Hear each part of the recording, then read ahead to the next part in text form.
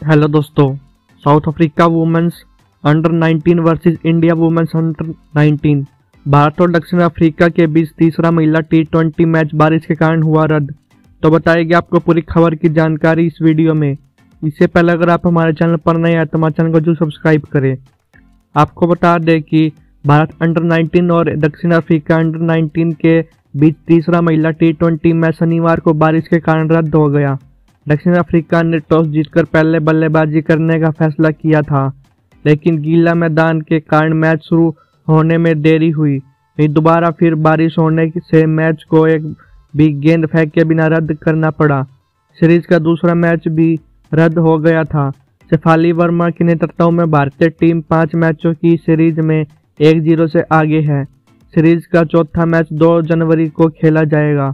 भारत ने सीरीज़ के पहले मैच में सताईस दिसंबर को चौवन रनों से जीत दर्ज की थी। तीसरा टी ट्वेंटी मैच स्टेंसटी स्कूल ग्राउंड में खेला जाना था। बीसीसीआई ने ट्वीट कर जानकारी दी कि साउथ अफ्रीका में भारत अंडर 19 महिला और दक्षिण अफ्रीका अंडर 19 महिला टीम के बीच तीसरा टी ट्वेंटी मैच बारिश के कारण रद्द हो गया। सीरीज़ का चौथा मैच नए साल में खेला जाएगा। इसी तरह से क्रिकेट की रिलेटेड हर अपडेट पाने के लिए हमारे चैनल को जो सब्सक्राइब करें। धन्यवाद।